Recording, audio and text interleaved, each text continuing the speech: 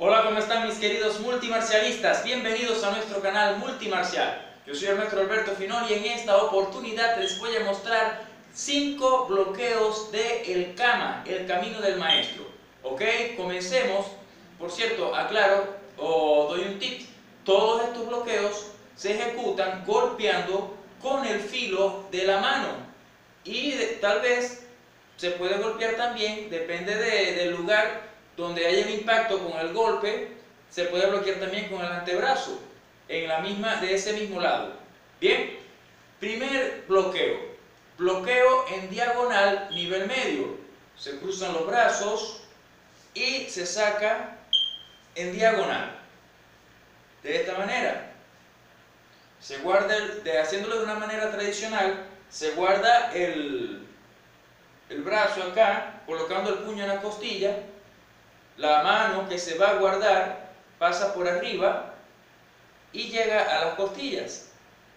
La mano que se va a guardar pasa por arriba, en este caso a la izquierda, va girando y llega a las costillas. Bien, segundo bloqueo, el mismo bloqueo diagonal pero nivel alto. Cruzamos igual, pero a un nivel alto. En este caso la mano queda a la altura de la cara. En el primero quedaba a la altura de la punta del dedo, quedaba de los dedos quedaba a la altura del hombro y en el segundo la mano queda a la altura de la cara. Bien, tercer bloqueo. Bloqueo hacia arriba. También se ejecuta golpeando con el filo de la mano. También se cruzan los brazos. De esta manera, la que se va a guardar pasa por detrás. La que va a bloquear pasa por delante. Cuarto bloqueo, bloqueo descendente. También se ejecuta, como dije al principio del video, con el filo de la mano. Se lleva acá, se, sobre el hombro y luego baja. Descendiendo y un poco hacia adelante.